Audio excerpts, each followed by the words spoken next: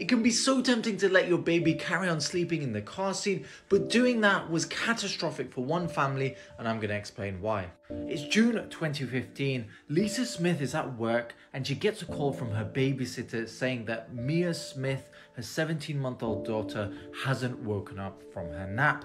What happened?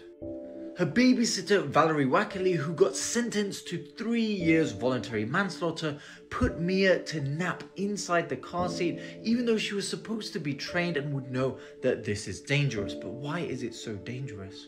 It's likely that Mia's passing was due to something called positional asphyxia, and a 2015 study published in the Journal of Pediatrics found that the reason why this happens is because these infants get pushed into a position that blocks breathing from both their mouth and their nose from being in the car seat, which is what makes them vulnerable to unfortunately not waking up. For safety, time in the car seat for